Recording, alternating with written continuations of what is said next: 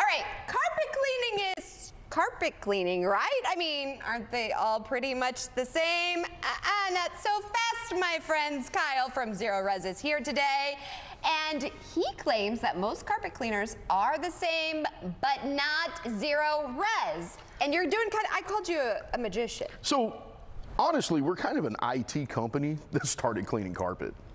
And because we're an IT company, we take science to the next level. Everything we do is like science driven. We developed our own water, we developed our own wand, we've developed our own cleaning process. Everything we do, we've developed and we bring science to it.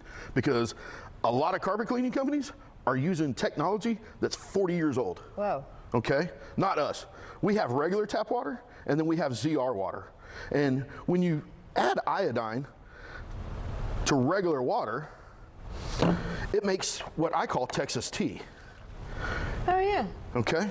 But when you add it to ZR water, our ZR water actually up. attacks it. And that's the magic of ZR water cleaning your carpet. The other great thing about it is when you clean with this, it's only removing some of the oil and soil.